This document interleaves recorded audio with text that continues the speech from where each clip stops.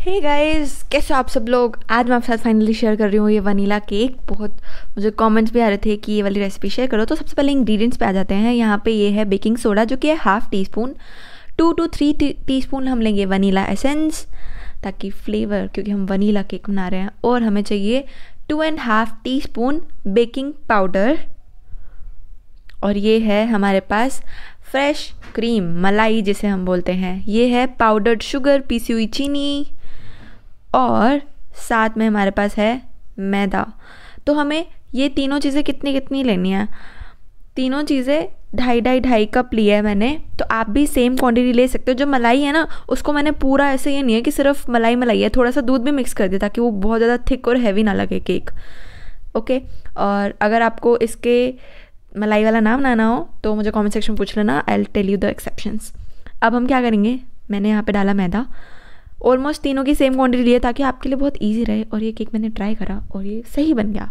तो yes you can do the same चीनी अगर आपको थोड़ी कम चाहिए, ज़्यादा लग रही हो तो आप ढाई कप से कम कर सकते हो। It's your choice but it's fine तो मैदा डाला ढाई कप फिर उसके बाद डालेंगे पाउडर्ड शुगर इसके कलर में मत जाओ इट्स ओके ये देसी खांड है। इट्स आप पीसी हुई चीनी यूज़ करो एंड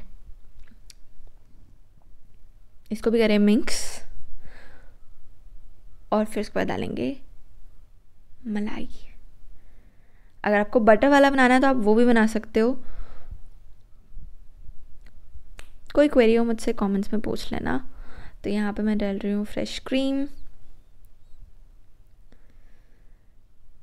इसको करेंगे अब हम मिक्स तो आप चाहो तो इसको मिक्सी में भी मिक्स कर सकते हो। बिल्कुल अच्छे से हो जाएगी। ये मैं बड़ा केक बना रही थी, इसलिए अगर आप इसकी छोटी क्वांटिटी बनाओगे, जैसे कि आपको एक कप की बनानी है तो आप उस हिसाब से डिवाइड आधा सारा सामान इतना इतना एक एक एक एक टीस्पून बेकिंग पाउडर हो जाएगा, उससे one four teaspoon baking soda हो जाएगा वनीला सेंस भी थोड़ा थोड़ा हो जाएगा और मैदा और मलाई और और मैदा, मलाई और और चीनी भी कम हो जाएगी। हाँ तो अभी इसको मैंने अच्छे से कर दिया है मिक्स और तीनों बाकी के इंग्रेडिएंट्स भी डाल दिए अब हम क्या करेंगे, एक केक का टिन लेंगे। ये वाला बहुत बड़ा वाला है तो इसलिए मैंने बड़ा केक बनाया। तो इसके अंदर सबसे पहले थोड़ा सा ऑयल या बटर लगाएँगे और उसके ऊपर फिर बटर पेपर लगा के अच्छे से फिर उसके अंदर हमारा बैटर रख देंगे। ये थी वनीला बटर क्रीम फ्रोस्टिंग की रेसिपी जो मैं ऑलरेडी कल आप साथ शेयर कर चुकी हूँ तो आप कल वाली वीडियो में जाके चेक कर सकते हो। इससे पिछले वाली या फिर डिस्क्रिप्शन में भी डाल दूँगी लिंक केक मैंने थर्टी फाइव मिनट्स के लिए बेक करा ओटीजी में वन एटी डिग्री और फाइव मिनट्स प्री हीट भी करा था। आप चाहो तो इसको कुकर में बना सकते हो। फोर्टी फोर्टी फाइव मिनट्स तक लो मीडियम फ्लेम पे बनाओ और बीच में चाहो तो आप चेक भी कर सकते हो। टूथपिक से तो आपका केक हो जाएगा रेडी ये मैंने इसका बटर पेपर निकाल दिया इसको पलटा के दूसरी प्लेट पे और फिर मैंने एक नया, इसको मैंने करना था हाफ़ क्योंकि मुझे बीच में भी फ्रोस्टिंग डालनी थी केक के। दो लेयर्स वाला जैसे बनता है।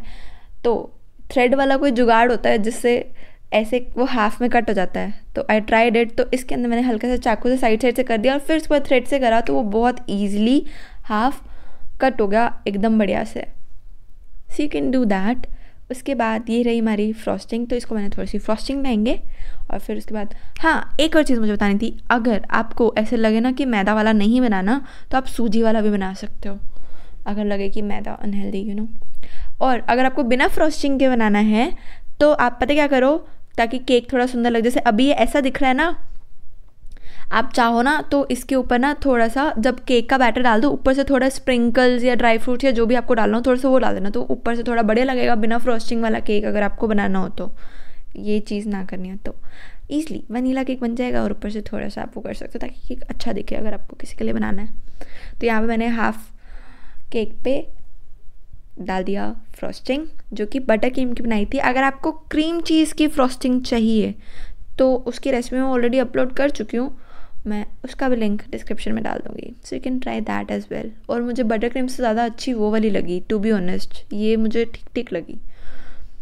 अब सेकेंड पार्ट डालने की अब समझ नहीं आता तो कैसे बोलता है पर जस्ट जैसे इसको मैंने कर दिया। फिर उसके बाद केक ऑलमोस्ट हो गया रेडी बाकी फ्रोस्टिंग में डालेंगे एंड डन और जिसने भी कमेंट सेक्शन में बोला था वनीला केक बना दो। ये लो वनीला केक आपको मैंने रेसिपी बता दी।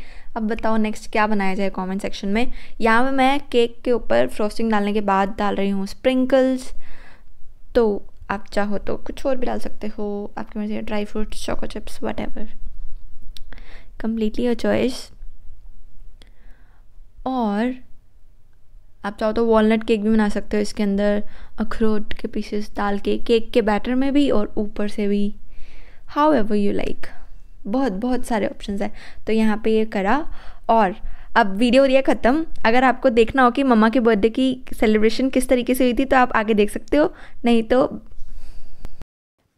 तब like share and subscribe if you want to see the next part you can